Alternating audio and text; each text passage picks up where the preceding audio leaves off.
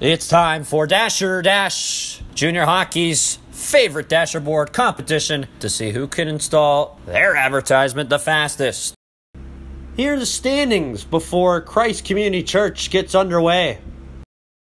Eric joined us today as he begins with the tape on top of the Christ Community Church sign.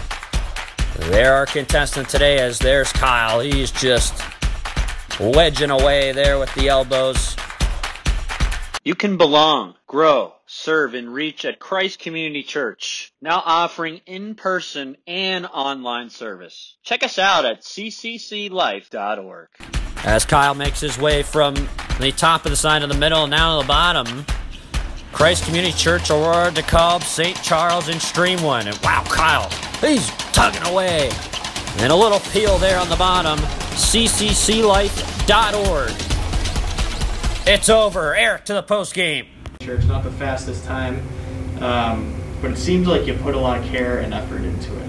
We did, we did. Uh, we had a lot of high hopes for that one. You know, we're, our, our spirits were high. You know, we, we had a lot of belief that going into it, we were going to be the fastest time on it. Um, you know, some things don't always work out, but uh, um, you know, your your spirits will get lifted again at Christ Community Church. And the final time for Christ Community Church, 6 minutes, 27 seconds, and a point three three to cap it off.